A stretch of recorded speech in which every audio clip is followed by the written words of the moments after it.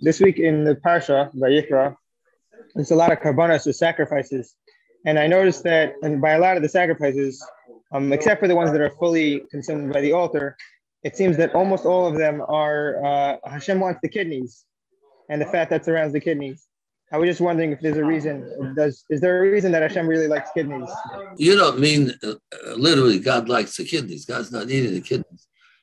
I have a very close friend, a doctor friend, who specializes in kidneys, and he told me people don't realize the, uh, the functions of the kidneys, how much, how how far they go.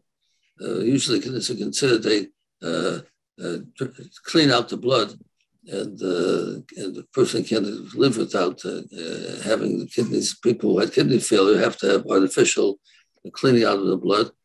And uh, but he said it goes much further than that. I didn't get to know what it is, but he specializing in it. He made a big study of kidneys, and he said uh, it's the greatness and the uh, functioning of the kidneys goes much further than people think.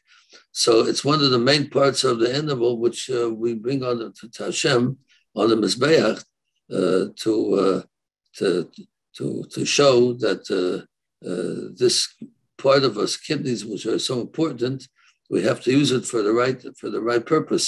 We have to have our blood to be cleaned out because we want to be able to live normally. Whatever they represent, uh, it's we have to show that it's uh, for a purpose and not we're not animalistic. We're here for for a reason, and we want to live. And and uh, every part of us should be uh, thought of as a way to serve Hashem. And we bring on the mizbeach uh, to to like I said, burn it in that fire in order to show us that our kidneys that we're living with should also, the fire of Torah, be used for the right thing, the right thoughts.